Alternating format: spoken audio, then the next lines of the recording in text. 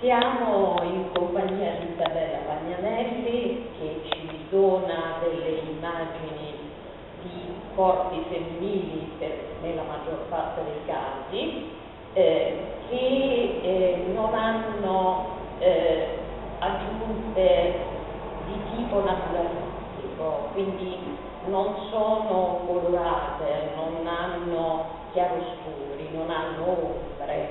sono delle sagome asciutte.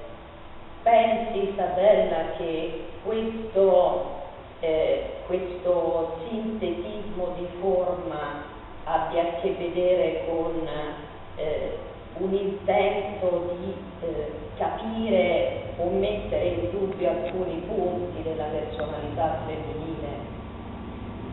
Ma eh, c'è sicuramente in primo luogo proprio il piacere di, una, di un'espressione molto semplice, molto scarna, grafica, che è sempre presente nei movimenti. E sicuramente c'è anche una proiezione di me in queste opere, una proiezione che è avvenuta attraverso un progressivo, dire, un progressivo levare, togliere, una, una progressiva spoliazione di me eh, che ha portato diciamo, fuori l'essenza.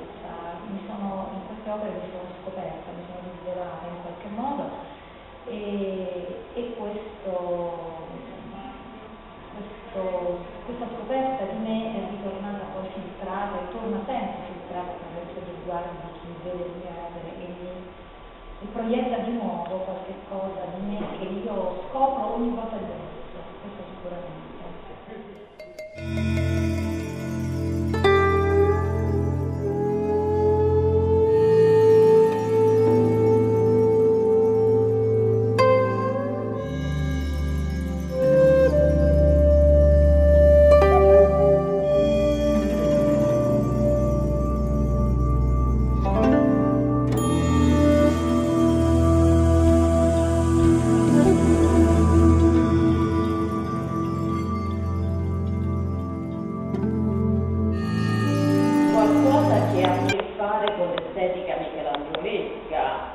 Isabella, quindi per via di levare, non per via di porre, di aggiungere, di formare, di colorare, di dare umbra e di dare luce.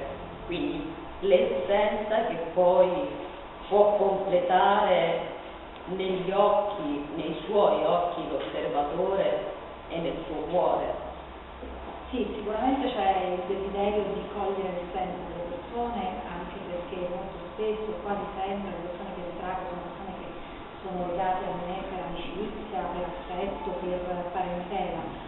E, e quindi c'è il desiderio di cogliere veramente la profondità del, dell'anima, ma anche l'idea che un'opera essenziale ognuno ci mette del suo, sia chi la produce sia chi poi la fruisce e quindi diciamo l'opera d'arte nasce proprio nell'incontro con quindi allo spettatore l'ardua sentenza. Grazie Stella.